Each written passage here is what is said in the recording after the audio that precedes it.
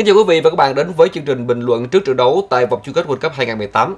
Vào lúc 1 giờ ngày 16 tháng 6 sẽ diễn ra trận đại chiến của bảng B Bồ Đào Nha gặp Tây Ban Nha.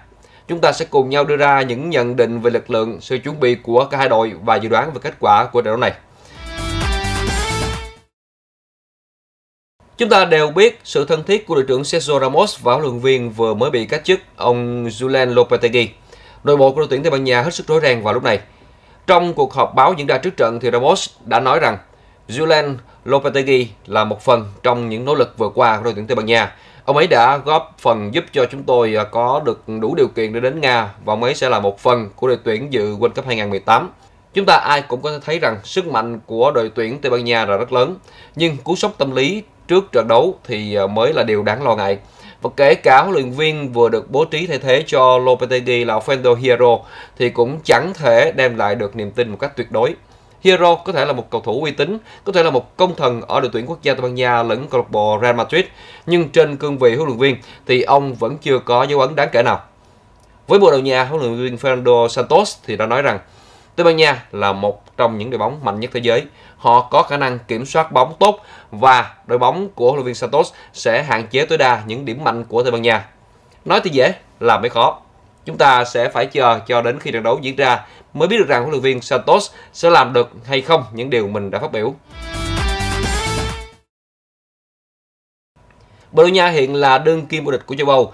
Trong đội hình của họ lại có siêu sao Cristiano Ronaldo. Nhưng Tây Ban Nha vẫn được đánh giá cao hơn. Lực lượng của đội tuyển Tây Ban Nha nhỉnh hơn khi họ có các cầu thủ xuất sắc rải đều ở các tuyến. Tuy nhiên Tây Ban Nha cũng đang gặp vấn đề khủng hoảng lực lượng như tôi đã chia sẻ phía trên. Hierro tới Nga và phải sử dụng các tuyển thủ do Lopetegui chọn sẵn. Vì thế, các mảng biến chiến thuật chưa hẳn đã ưng ý huấn luyện viên này. Vấn đề thứ hai là hàng thủ của Tây Ban Nha khá mong manh khi những cầu thủ trụ cột như là Cavahan và Pique đã dính chấn thương và cơ hội để họ ra sân là khá thấp. Thứ ba, Tây Ban Nha cũng chỉ có chân sút đáng chú ý là Diego Costa chơi trên hàng tấn công và chỉ có một cầu thủ thì lại rất dễ bị bắt bài phải không ạ? Bồ Đào Nha sử dụng sơ đồ 4-4-2. Tuy nhiên trên thực tế thì Ronaldo di chuyển rất tự do để tránh bị một hoặc một vài cầu thủ phòng ngự Tây Ban Nha bắt bài.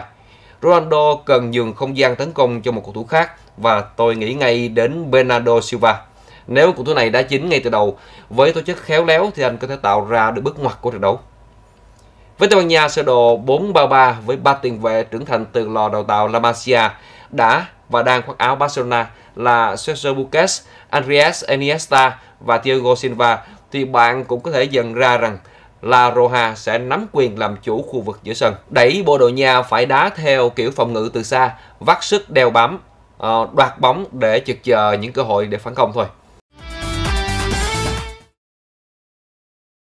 Một số trang mạng đã đưa ra tỷ lệ chấp là Tây Ban Nha chấp Bồ Đào Nha nửa trái, à, tỷ lệ tài xỉu là hai trái 1 phần tư. Tôi thì à, cho rằng Bồ Đào Nha có cửa thắng cao hơn. Dù sao thì đội của Cristiano Ronaldo thì cũng đang là đương kim vô địch châu Âu mà. Và CR7 thì lại là thủ lĩnh của câu lạc bộ 3 lần liên tiếp vô địch UEFA Champions League. Khi thế có thể nói là ngút trời. Trong khi đó thì nội tình rối ren sẽ khiến cho đội tuyển Tây Ban Nha khó đạt được 100% phong độ. Tôi mạng phép đưa ra dự đoán của mình là Bồ Đào Nha sẽ chiến thắng với tỷ số 1-0. Bạn thì sao? Hãy đưa ra dự đoán của bạn ở phía dưới video đang xem nhé. Còn bây giờ thì xin chào tạm biệt và hẹn gặp lại trong các chương trình bình luận khác của truyền hình Báo Thanh niên.